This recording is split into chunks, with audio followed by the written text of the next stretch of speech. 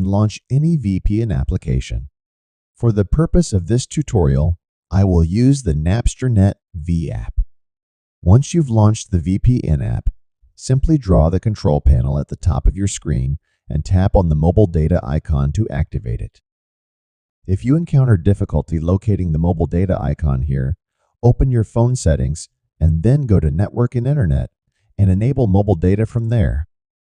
So, after activating the mobile data, proceed and connect the VPN app. Once the VPN is connected, minimize the app and open the Google Play Store.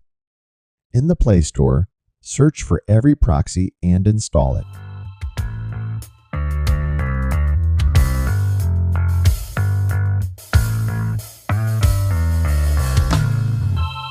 Once you have installed the application, tap on Open to get started.